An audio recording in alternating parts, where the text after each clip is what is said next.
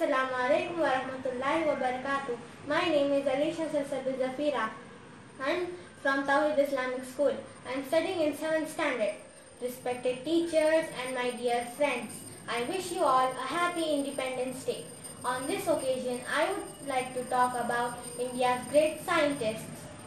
Dr. APJ Abdul Kalam is known as the father of Indian missile technology and India's lifelong scientist for his prominent role in India's 1998 nuclear tests. Vikram Sarabhai is fondly remembered as the father of space research program in India and known for the establishment of ISRO. Homi Jahangir Bhabha is known as the father of Indian nuclear science. He founded the Tata Institute of Fundamental Research, where initial research for India's nuclear program began. We should never forget the sacrifice of our freedom fighter who found this who formed this country. Jai Hind, Happy Independence Day.